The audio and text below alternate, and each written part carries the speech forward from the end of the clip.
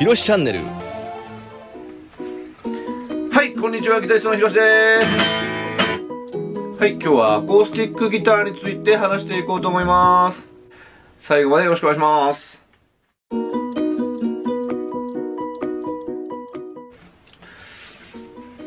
こちらが、これが、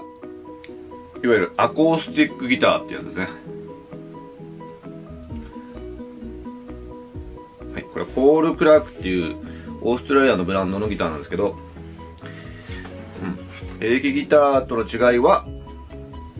まずこのサウンドホールっていう、ね、穴が開いてて、ここで音を大きく響かせよう。で、ボディ、この全体的に分厚いボディ。ね、こうやって厚くなってますね。エレキギターに比べて厚い。そして、ネックもエレキギターよりは一般的には太い、太いネックが多い。で、弦も、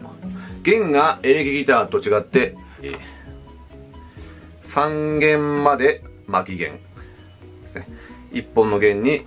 こう、弦が巻いてあるんですけど、ですね。で、2弦と1弦は普通の弦。で、これはエレアコーと呼ばれる、エレクトリックアコースティックギターなので、ここに、プリアンプがついてまして、えー、生音だけじゃなくて、アンプにつないだり、PA さんに、ライブハウスの PA さんにつないで、音を出すことができる。エレアコは、このプリアンプを使うために、こう、電池が、電池が入ってたり、これは、あ、コールクラークはここに電池が入ってたり、ね、ヤマハのはここに入って、電池ボックスがあったりするんですけど、それぞれメーカーによって違うんですけど、生音はこういう音ですね。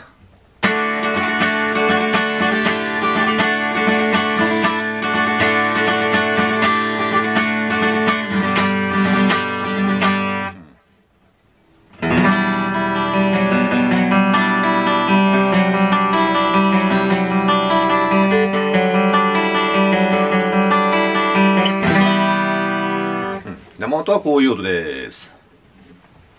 ちなみに、エレキギターの生音はこんな感じ。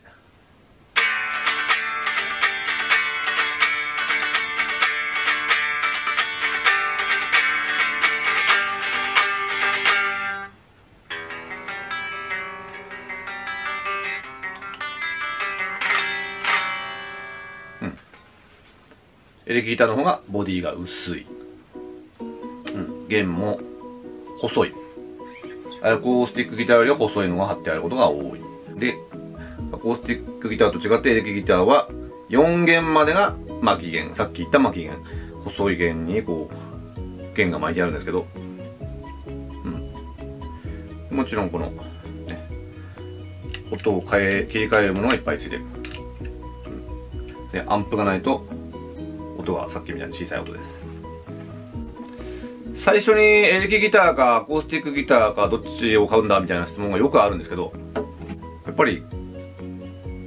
どうなりたいか、自分がどういう風になっていきたいのかを想像して、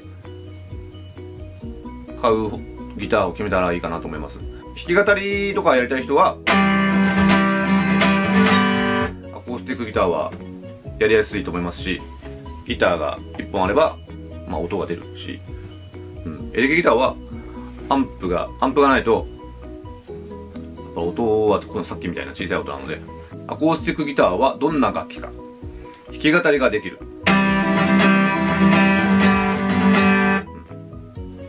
これだ、ね、弾き語りしてる人、たくさんいます。ストリートミュージシャンとか、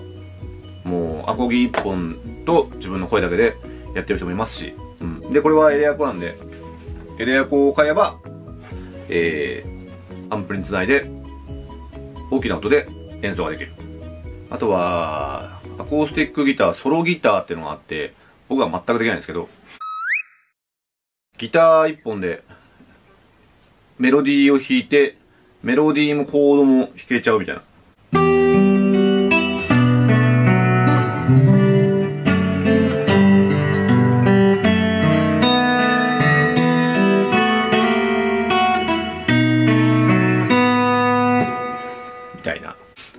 ソロギターって言って、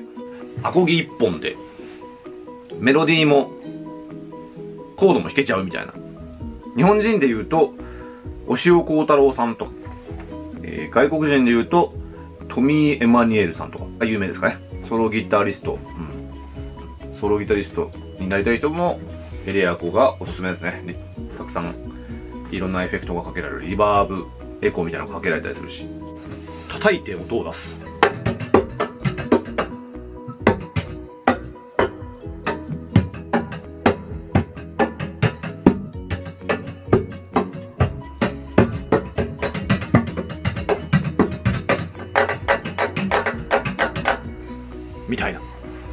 バンドやってる人もやっぱり、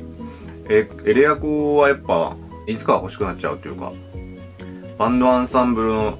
中でアコースティックギターの音が欲しいなーっていうことがね、多分出てくると思うんで、やっぱり、あ、エレアコ、アコースティックギターは、一本持っておくといいかなと思います。そして、えー、これに、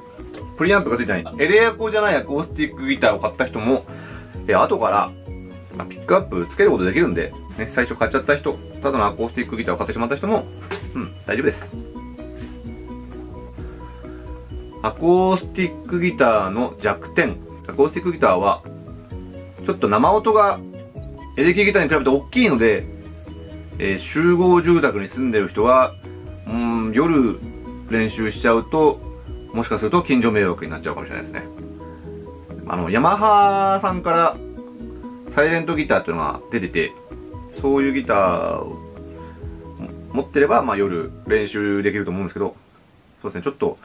日本の住宅事情とは合わない音量というか、まあでもそれがね、音を大きく出すために作ってあるので、うん。しょうがないなと。アコギはエレキギターに比べて、あの弦が、弦を押さえるときにちょっとコツがいるというか、力がいるというか、うん。コツがいるですかね。うん。エレキギターに比べて、弦の張力、張ってある力が強い。弦のテンションって言うんですけど、テンションが強いので、ちょっと抑えるのに力がいるというか、うん。うん。そして初めはちょっと大変かもしれないですね。すぐ、まあ慣れますけどね。慣れるまではちょっと大変かなみたいな。やっぱりでもアコギにしか出せない音っていうのはとても魅力的なので、ぜひ、一本、まずは一本ゲットしてみてください。はい、いかがだったでしょうか？えー、ざっくりアコースティックギター、エレアコーについて話してきましたが、えー、どうだったでしょうね？えー、エレキギターを買うのか、エレアコ、アコースティックギターを買うのか悩んでいる人は参考にしていただければ嬉しいです。今日も見ていただきありがとうございます。えー、これからも、えー、ギター初心者の方に向けて動画作っていこうと思うんで、チャンネル登録よろしくお願いします。よろしくでした。ありがとうございました。